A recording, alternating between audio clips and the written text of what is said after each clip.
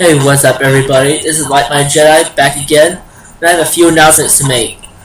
The first one is that I have a, I got a headset which I'm holding right here, so I'm going to try to let you get a better look at it.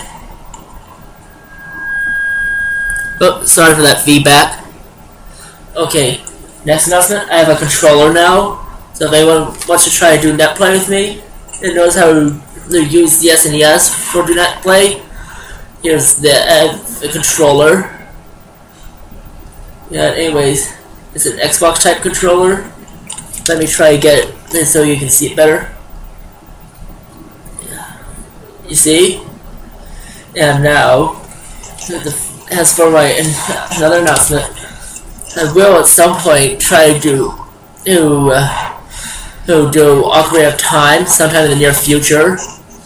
And right for Christmas, I'm going to do The Legend of Zelda: A Link to the Past, and I might try to start the Game Boy Advance version of Super Mario World, but I don't know how that's going to work out.